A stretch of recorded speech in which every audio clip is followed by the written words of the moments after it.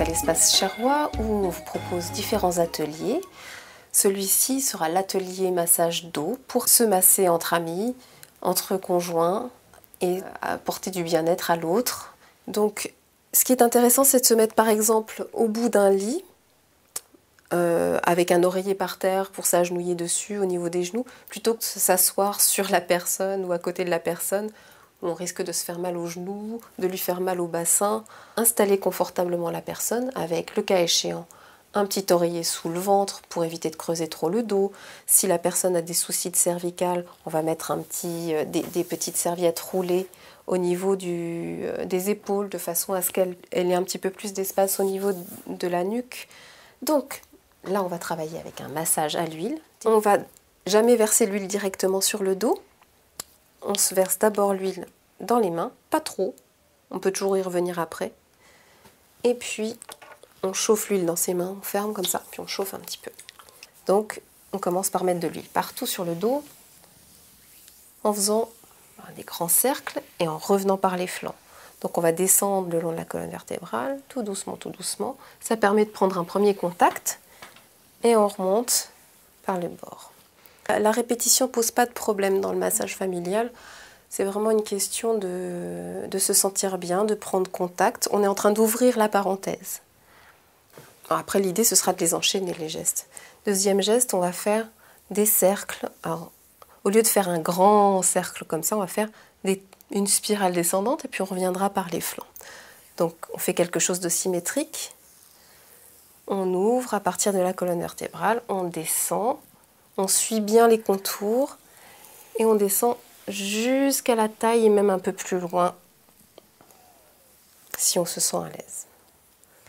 Alors après, on va enchaîner avec un geste long. On va appuyer avec les pouces. Donc tout mon appui est sous les pouces et puis les mains sont là pour sécuriser puis pour me marquer le chemin comme une autoroute. On descend avec les pouces. On utilise son poids, pas sa force. Si on utilise son poids, le contact sera sécurisant et doux. Si on utilise sa force, ça donne quelque chose de tendu. Donc on n'est que dans la détente. Et puis en, geste pour enchaîner après, on peut descendre par petits cercles des deux côtés de la colonne vertébrale tout doux, tout doux. Et donc bien sûr, la personne qui masse euh, doit faire attention à bien respirer, garder les épaules détendues, le dos assez droit et détendu aussi. Et plus on est détendu soi, plus la personne qui reçoit le soin euh, reçoit la détente en même temps. Donc on a fait quelques gestes euh, qui donnent quelque chose de global. On peut travailler sur les zones un petit peu plus spécifiques. Les zones qu'on apprécie particulièrement en général sont plutôt la zone haute du dos, l'espace entre les, l'omoplate et la colonne vertébrale, et puis le, trapèze qui est au niveau de l'épaule. Donc un geste simple qui fait beaucoup de bien au niveau de, cette zone-là. On peut l'appeler le presse-citron. On imagine qu'on a un citron dans la main, on le pose, et ici on a un presse-citron au niveau de l'omoplate, et donc on va tourner la main comme pour presser un citron. C'est très simple et c'est très efficace sur le plan de la sensation. Surtout n'hésitez pas, surtout les premières fois, à demander euh, si c'est bien à la personne qui reçoit. Pour qu'elle puisse, dans un premier temps, il faut vraiment avoir son retour, c'est important.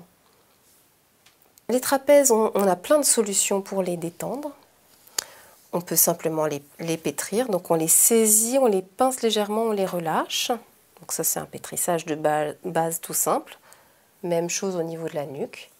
Donc on va prendre doucement la nuque dans toute la, main.